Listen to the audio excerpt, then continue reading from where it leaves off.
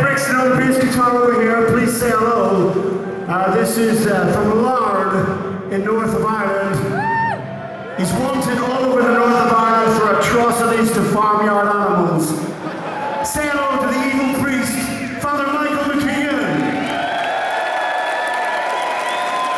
This is from Chris and this is called Callow.